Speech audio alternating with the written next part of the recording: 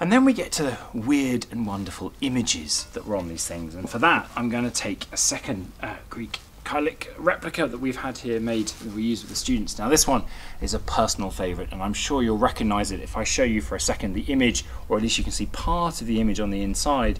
It's that famous one by Exekias with Dionysus in his ship at the centre with dolphins all around him and the vines growing out of the top.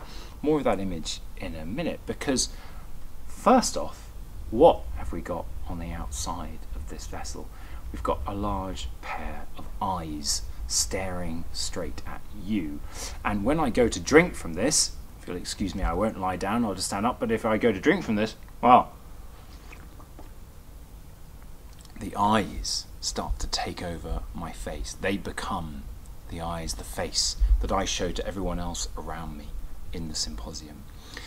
So this cup is, if you like, it's a bit of a joke, or rather it's reminding you that you are being watched, that this is a test. This is not relax time. This is where you prove yourself worthy um, of being part of this unit. The eyes on the cup reminding you that you are always being observed. It's nice and slow. What are you guys seeing on this side of the room? The eyes. The eyes. Right. The outside of the vessel is decorated with eyes, as are kind of we see up here on the image as well. And what are the eyes doing while she drinks? They're taking over her eyes. And then what other the other thing I think that's really important when we get hold of these vessels and actually start to use them in the position kind of in the setup of the symposium is that we are not fundamentally looking at these images as we do when they're printed in books. We don't get as much time as we like to look at an image and study it in minute detail. What we're getting are flashes, moments. And when I tilt my cup up to drink, and then down again, the image is gone from your sight. And equally, if you're sitting in front of me as you are, you get to see a particular image, but if people are sitting to the left of me, they'd see it differently, and to the right of me differently again. We get to see these images in fragments, and snapshots, rather than being able to pore over them at length. And everyone is seeing something different. Focus outside the eyes, what else can you see? Warriors uh, someone dying.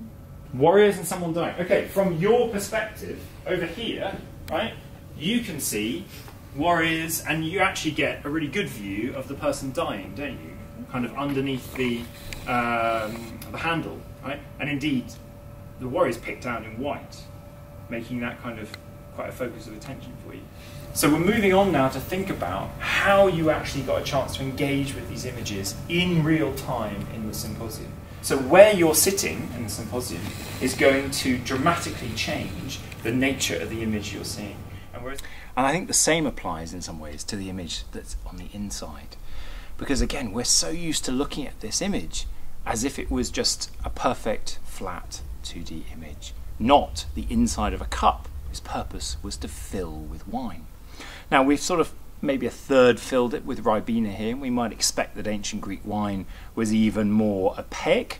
So we may not be able to see anything of the image underneath the wine until we drink it. Instead, we're just getting the bits around the edge. We're getting some dolphins, we're getting some bits of the vines. So we're getting some senses of this image, but we're having to interpret it from the outside in rather than from the center of the image, which is how we naturally kind of look to think about images. We're seeing dolphins jumping out of the wine dark sea of our wine in the cup. And it's only as we tilt it to drink from it again, excuse me while I take another sip, that more of the image is revealed to us. We start to see some, I can do a little bit for you here without trying not to spill too much, we start to see some of the sail of Dionysus' ship, but it's only when we finish the drink entirely that the whole image will be revealed to us.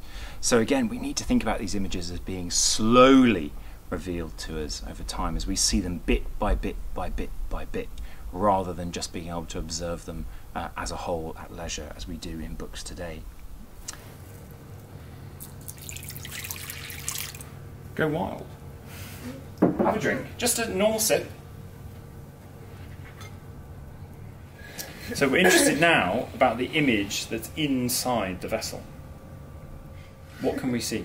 Dolphins. You can see the dolphins, right? I, the white, the glass is what? About half. The Kylix is about half full, something like that. Vines, yeah. So you can see the vines, you can see the dolphins. Okay.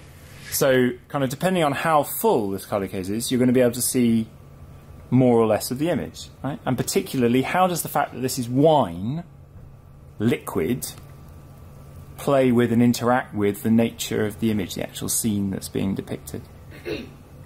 Because like dolphins are in the sea.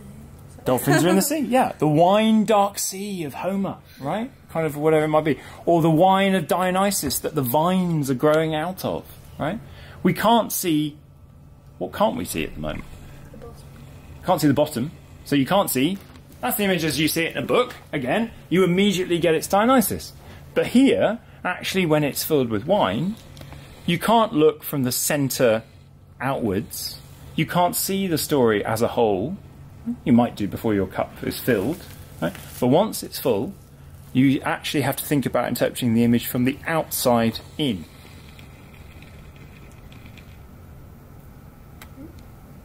Okay, what more did we see as you went to drink?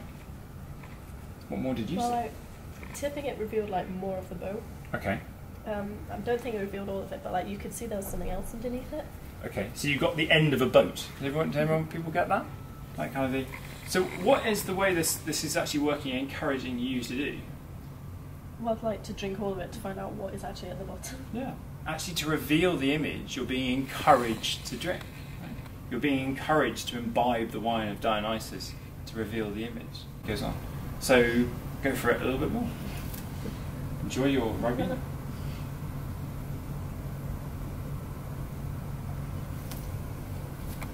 It's really difficult. Okay. Um, again, you just like see more of the boat, and also the more you drink, it gets actually easier to drink because there's less liquid in it. So it gets easier to drink the less liquid that's in it. You're obviously getting drunker. Yeah. Kind of as you're revealing the god of Dionysus, the god of wine, the god of the symposium. Or you start to see perhaps a tiny the horn, the rhyton, the drinking horn that was just that he was holding, kind of. Uh, but as you get as you down it, as you say, you would finally get Dionysus revealed, and then the story. Does anyone know the story that this image is depicting?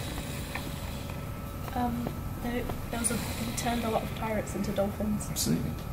I think they kidnapped him. No. Uh, how much do we sort of think of these things as art with a capital A, with great painters where you're like, have you seen my Exekias that I've got up on the wall over here? Kind of, or frankly, did you use that once and chuck it away next time go and buy another set? It was only the person who had it in gold and silver vessels that really didn't chuck their stuff away and perhaps kept that away for the finest event. Or if we're in southern Italy and Sicily, we know people are choosing to be buried with this stuff. And there are some examples that have survived where they've clearly gone through repair in antiquity. So they've become heirlooms that have actually been handed down through the generations. You know, this was your grandfather's drinking kylix or whatever. So yes, there probably was uh, some variety of use and some ways in which they became special implements that held special significance. And perhaps some people did appreciate that it was an Exekias, and others who were like, "Oh, whatever. And this is the kind of infamous images that we were looking at last time, right? Kind of thing. You can see them uh, there. You go. There's the 2D photo you get given, kind of when you see this stuff in books, and here's the image. But this is how we would actually be using this vessel. So how does that change the way that we see and engage with the image? Kind of, if you only think about these things as 2D static images, right? and we didn't realise this until we actually did this demonstration the first time around, that there's something to do with fluid dynamics that I haven't kind of worked out yet. I'm just going to talk to a scientist. um, but when you put that in a bucket with water in it, it spins. This is it's not an image; it's a moving image. Right? The, and the way it's kind of there's a you know there's an ongoing story, isn't there? When you tell this around, there's no clear dividing scenes on a kylix. There's all, often a clear divide underneath the handles between kind of one story on one side and one story on another side. Whereas that image has no dividing scenes on it. It's a continuous narrative. And actually, when you start to see it now like this, as a moving image, as almost kind of early cinematography, if you like, kind of wherever this might be in the room, you are getting, if you chose to concentrate on it and focus on it, the whole thing. as it turns, as it reveals itself to you. You don't have to move the muscle. Because of the way it's, it's in the water, it's suspended in the water, right? You're not seeing the bottom bits of the image. And of course, depending on how full the psykter is with wine, if it was fuller with wine, further down. If the crater is not as full with the cold water, it's going to be balancing further down. So you're going to see less of the image. So depending on how this is being set up, how full the crater is, how full the psykter is, are we at the beginning of the symposium, right? Wine's cooling, you're not going to see that much of the image at all. As you drink more of the wine, or as the cool wine gets sent over to the crater to be mixed, you might see a little bit more of the image. As it gets pulled out to go and pour over in your crater, you get to see the whole image. Right? And actually, if you think about how this image is designed, take our famous scene here, if you only see the top bit, you see two satyrs, obviously, kind of beards, weird ears, etc., drinking from a cup perfectly fine sort of behaviour. Be expecting you to you lot to do the same. But it's only at the bottom of the image that it really goes a bit weird. Or really weird. Okay? In fact, all the way around this, the weirdest stuff, like the satyr drinking upside down, is only at the bottom. So again, how is this image being created to reflect how they know this particular vessel is going to be used and how are you then able to engage with the vessel as it's used and deployed within the symposium space? Changing the way in which you're going to see this image. You are never going to get that kind of view. And I think the final thing to kind of comment is this. Lots of people write about how we should interpret an image on one of these drinking kylikes and what it means. But the symposium was a cultural event that could actually range across a huge spectrum. The symposiarch, the leader of the symposium, could decide at the outset that the wine was going to be very strong and that lots of craters of wine were going to be drunk. That around the people at the symposium would be not just musicians and flute players, but perhaps high class courtesans, hetairai. It was going to be that kind of evening, not on the other end of the spectrum, an evening where the symposiarch had decided that it would be very mild wine, that only uh, one or two or three craters were going to be drunk, and where the main focus was going to be a discussion of philosophy. So, coming to a symposium in the ancient Greek world could mean one of any number of things, depending on where the particular symposium you were attending sat on the spectrum. Is it going to be a night of very, very highfalutin educational philosophical talk with a little bit of wine on the side, or is it going to be a night of utter debauchery? And depending on where it sat on that spectrum, you would, I think, see these images in very, very different ways. Um, on another favourite of mine, on the inside of a kylix like this, is an image of someone puking their guts out. Now, how do we understand that? We've just downed our glass of wine, our kylix of wine, and we see an image of someone being sick. Now, if we were at a symposium where it was all out debauchery, we might see that as an image of kind of where we should be by the end of the evening, what was expected of us, what was wanted of us by our cheerful symposium leader. But if we were at a symposium where actually it was all about talking about philosophy and not really drinking very much, and we got that kind of image, we might choose instead to interpret it as uh, a warning about what is not civilized, acceptable behavior.